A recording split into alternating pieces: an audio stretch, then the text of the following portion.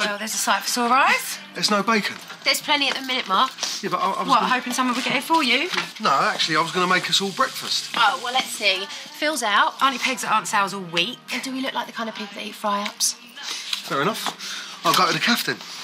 Oh, yeah, don't forget to get bacon, yeah?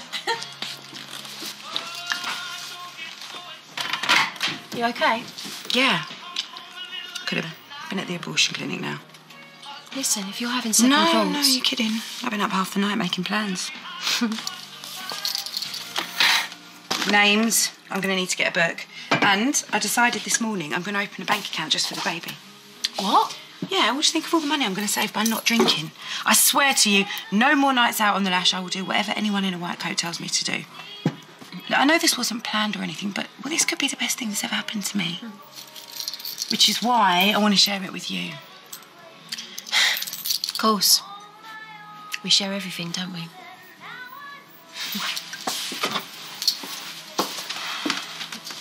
Can't just do nothing. Why? Because tomorrow's your birthday, that's why. How about I turn another year older and you and everyone else just forgets about it? Lib, Libby. Oh, come on, we can't fall out over something as stupid as this. As what? The fact that I don't have a staple for a belly button. No, that magazine. Oh, it was art. No, it was mine, but all blokes read stuff like that. It weren't a reflection on you. No, Darren. It was a reflection on you. Oh, come on, Liv.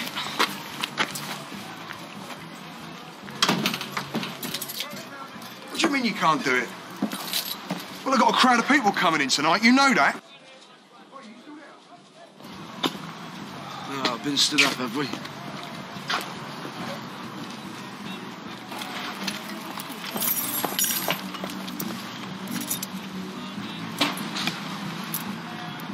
Come on, uh, I'll give you a hand. No, it's okay. I'll come with I- Danny, No, it's all right. I can manage.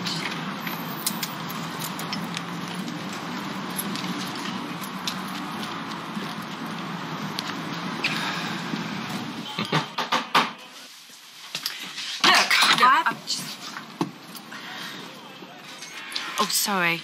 Lauren's school disco next week. I swear she's practicing her moves when no one's watching. What happened to this? Batteries. Yeah, can you believe I was lecturing Dot last week on basic survival as a singleton? Never could take my own advice. You coping? Yeah, of course I am. What about you? How's life after Ronnie? Well, she's been down at the club a few times. Check the takings, make sure her investment's safe. That's not what I meant. Well, that's in the past. Only thing between me and Ronnie now is a balance sheet.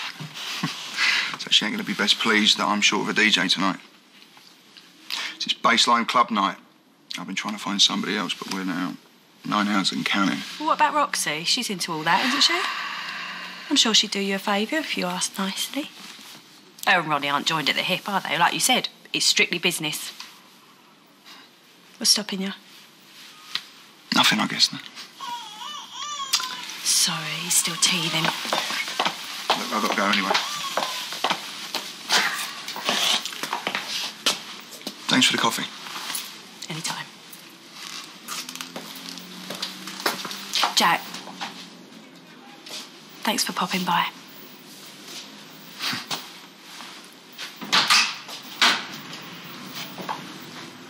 You ever seen a film called The Invasion of the Body Snatchers? Yeah, where the aliens come down and take over people's bodies. Yeah, that's the one, where they look the same, but they're not. So, Minty, he didn't succumb to your Dita Von Teese routine. I got interrupted by Gary. I won't even get a look in now he's back. I don't get it, Shell. That's your problem. No, I mean, I love Minnie to bits, but he'll only ever see me as a mate. Whereas you, you got on tap with Vinny when he's never exactly been your Mr. Right. I've never let him. Well, now you're trying. Maybe you'll feel something in time. I already am. Face ache. Oh, look, she's doing it again. Do you think that spell in the nick could have done something to her? Dunno. Ask Heather for me, will you? All right, darling. Got one when you're ready, Shell. Roxy about? Yeah. Lounging about upstairs. Lazy May's been there all day.